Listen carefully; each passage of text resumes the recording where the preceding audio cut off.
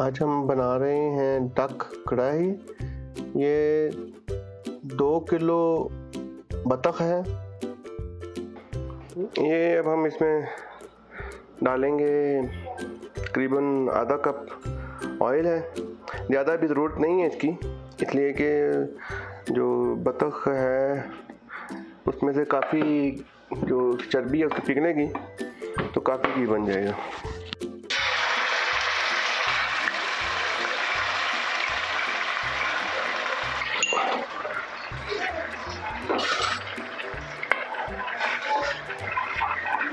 इसका जो गोश्त का कलर है, ऐसा लगता है जैसे बकरे का है। ठीक है? लेकिन दिस लुक्स नाइस और बस अब हम इसको मसाले डालते हैं अपने इसमें। नॉर्मल कढ़ाई के जो मसाले होते हैं, वो डालेंगे इसमें। तकरीबन one and half teaspoon मैंने टर्मरिक डाला इसमें। One one half teaspoon भी सॉल्ट डाला। है सॉल्ट को बाद में दोबारा टेस्ट कर लेंगे। कितनी ज़रूरत है? और इसमें थोड़ी सी ब्लैक पेपर डाल लेते हैं। तकरीबन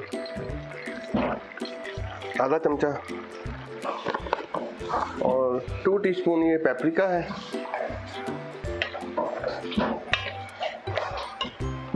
थोड़ा सा मिक्स कर लेते हैं।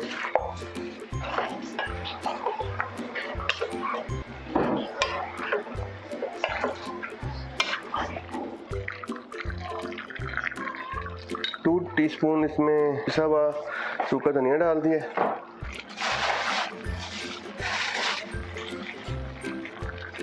ये पाँच क्यूब्स लहसुन के डाले हमने। ये तकरीबन फाइव टीस्पून बनते हैं। थ्री इसमें क्यूब टीस्पून अदरक डाल दिए। अब इसको हम कवर कर देंगे और इसको पकने देंगे कुछ देर के लिए। थोड़ा सा इसमें से पानी निकल आएगा इसका ऑयल निकल आएगा गोश्त अंदाज़ा नहीं है कि कितना होगा सख्त इसका लेकिन उम्मीद है कि, कि ये जल्दी पक जाएगा। कढ़ाई जो है ये रेडी हो रही है। घी इसका काफ़ी ज़्यादा हो गया है सारी चर्बी निकली है उसमें से बतख की स्किन में से।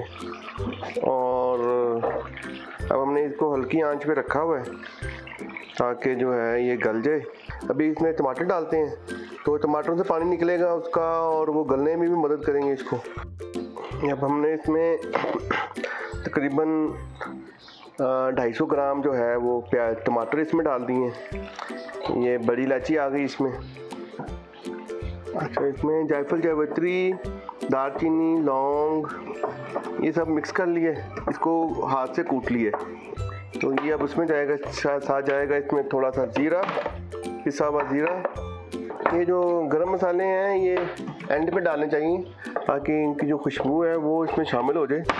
अभी आँच हल्की की हुई हमने, ताकि जो टमाटर हैं, वो थोड़े से इसमें मिक्स हो जाएँ।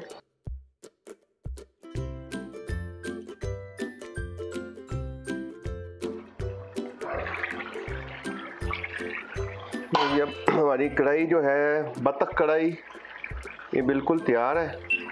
बहुत ही ज़बरदस्त किस्म की कढ़ाई जो है वो बन चुकी है।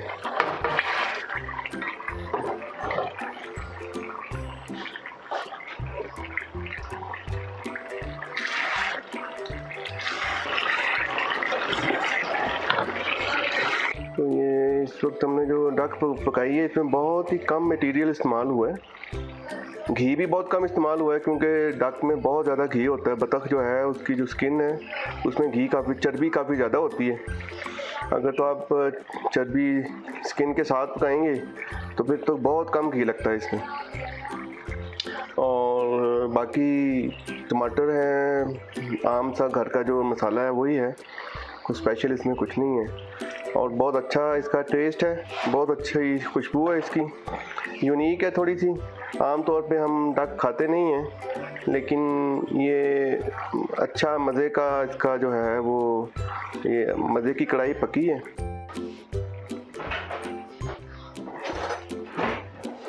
ये अब हमने इसमें जो है, ये हमने एक मसाला बनाया हुआ है, गरम मसाला है। ये हम थोड़ा डाल देते हैं इसमें। और अब हमने इसको थोड़ा सा मिक्स कर लेना है।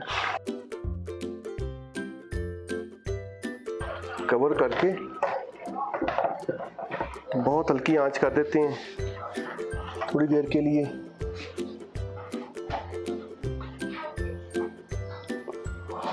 ताकि मसाले का जो जायका है, खुशबू है, वो इसमें रच बस जाए। उसके बाद ये खाने के लिए तैयार है। बहुत ही ज़बरदस्त खुशबू आ रही है इसकी। गरम मसाला भी डाल दिया इसमें और थोड़ी सी अदरक भी डाल दी है। बाकी अब ऊपर से डालेंगे। धनिया और अदरक ऊपर से जाएगा।